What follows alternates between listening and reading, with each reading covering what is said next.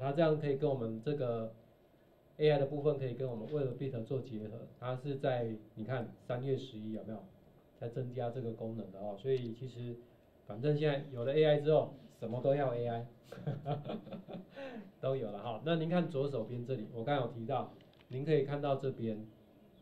这里有什么基本功能、进阶功能？但是如果你都懒得理它，看颜色就好了。也就是说，这个就是一个目录。那您需要什么功能，我就按着拉出来，里面的积木的颜色就会跟这个一样。所以我从外面在看的时候，我都不知道这是哪一个类别，我就找什么，就找颜色。好，这样就很容易能够理解。好，那这个呢，我们先稍微把它的界面来跟大家介绍一下哈。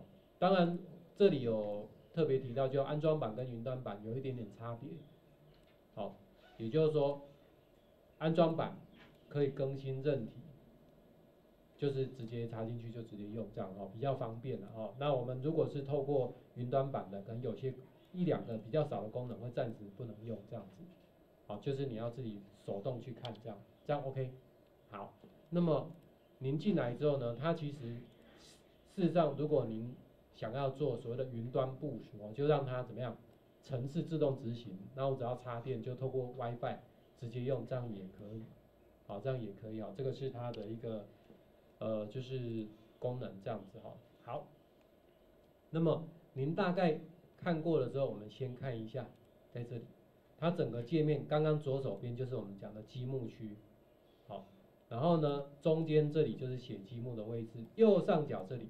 有没有看到一个模拟器？所以其实说真的，老师上课的时候没有这块板子也可以玩，模拟就好了。哎，直接模拟就好了哈，事实上没有关系。但是有板子当然更好玩啦哈，因为有真正的东西嘛哈。那另外呢，您看到就是在我现在影像位置的，哎，这里有四只怪兽，也就是说我们在这个城市里面呢，我可以跟这四只怪兽跟它做互动。那我们的执行的结果就在我现在这个位置，好，所以它大概分成一、二、三、四个区块，四个区块这样子哈。那本身呢，它除了刚刚我们看到板子上面有一些功能，啊，包括你看到那个面板的二十五颗 LED 灯，还有按钮，对不对？实际上它上面还有什么？有侦测光线的，有侦测温度的，然后呢，它还有蜂鸣器。都有，可是如果这些你都不够，没关系。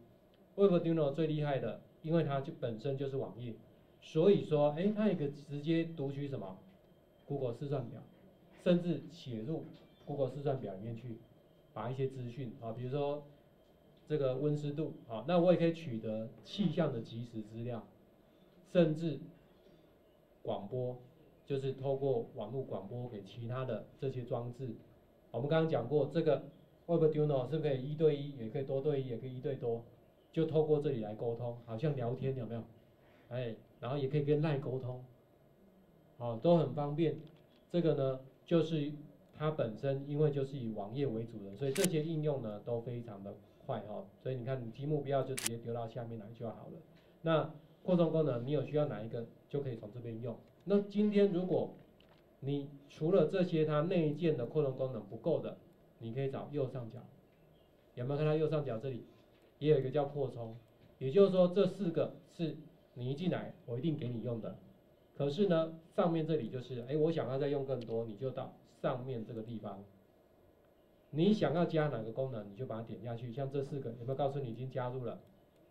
好，如果你想要玩 You YouTube，好，我们就把 YouTube 加进来，就把它点一下，就有了。人脸追踪，如果你有网络摄影机，像我有，哎，我就把这个加进来。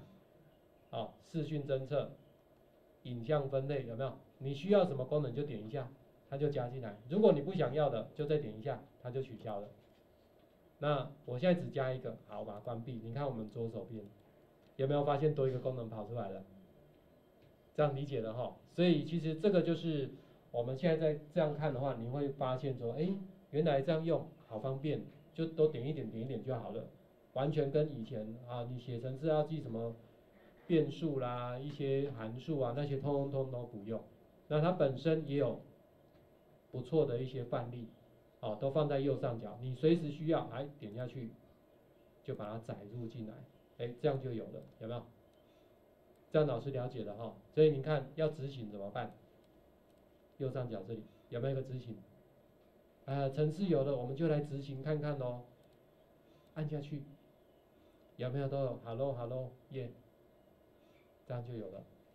OK，好，所以老师我们让大家呢，您先试看看右上角这个扩充，还有就是这个范例，您可以看你要哪一个，试着把它抓进来试看看。